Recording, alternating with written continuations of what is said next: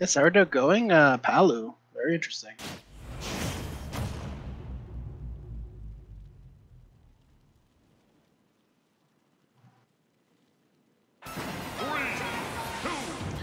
Go Charizard!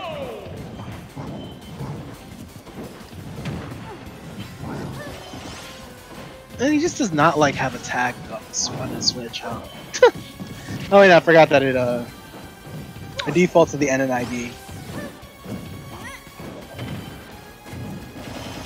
Or the Switch profile name, sorry. I guess I got it now cold. Yeah, this um SaurDeux keeping it fairly even overall, barely managing not to get murdered.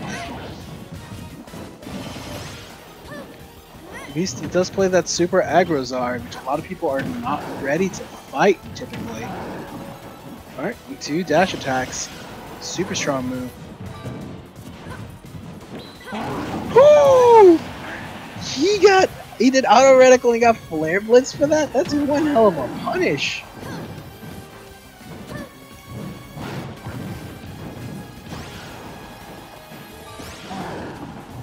Oh yeah, Beast barely surviving uh, that up air. Oh! And what an unfortunate miss space from Beast.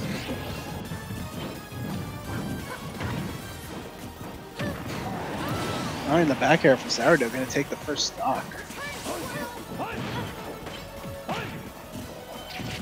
Of course, Beast uh, completely ignoring Squirtle's presence in this game. This character does not exist. What is a Squirtle?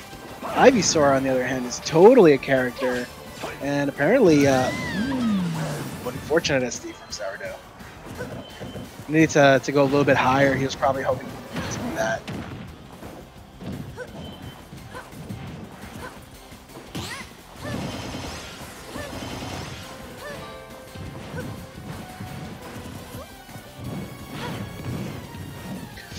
Oh, I think that was supposed to be a rare back air. I'm not sure though. And there's the rare back air, but he was too. He's a little off in the timing, but you know what? It didn't even matter. What is going on?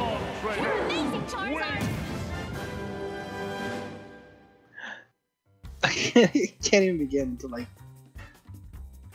Like, what just happened? It just ended?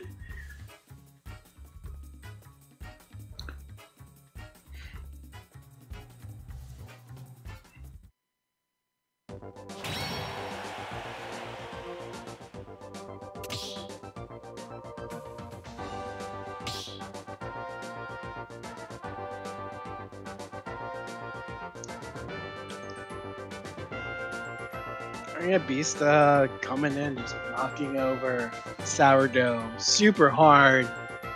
I don't know what SaurDeux's thoughts are right now, whether it's like, man, I should probably go Zelda, or if he's like, I need to try something else. I don't know. That did not work out too great for that first match.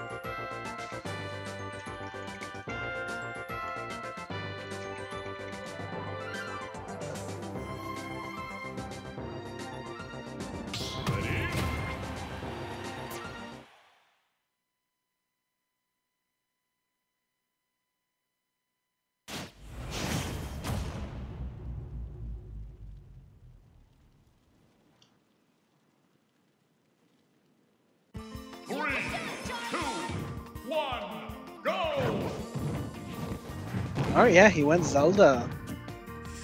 Uh, Smashville is a very strong stage for Zelda because she's allowed to use the platform to force people to approach um, directly in front of her. Oh my god! SaurDeux, dude! It's okay. Just barely surviving at 69%. And right there you can see. Oh, wow. Yeah, no, these flare blitz, dude. The flare blitz to call out the uh, the arm, the bad armor pulls, really good from uh, from Beast. Of course, despite like the uh, super explosive start, um, SaurDeux did manage to rack on some percent, so this isn't too bad quite yet, but this could get pretty terrible uh, if SaurDeux keeps taking these straight hits in the down air. No!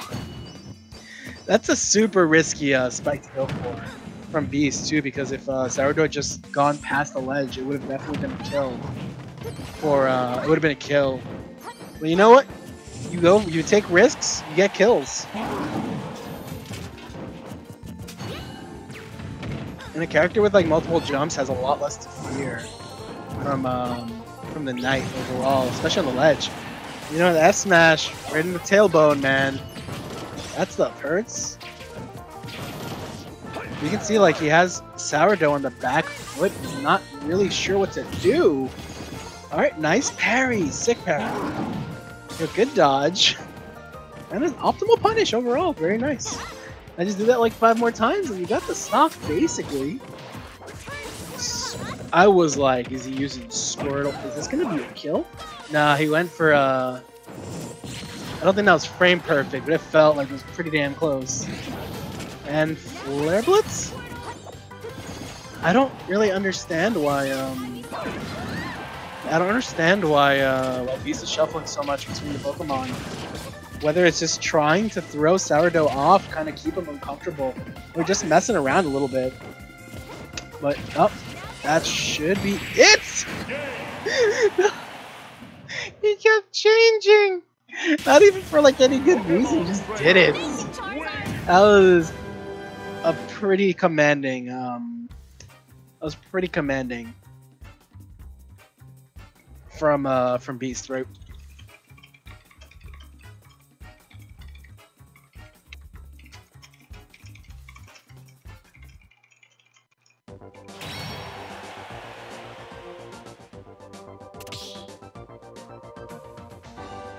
And alright guys, we're gonna have uh, Vestagre versus Mega in here in just a second. It's gonna be an Ditto.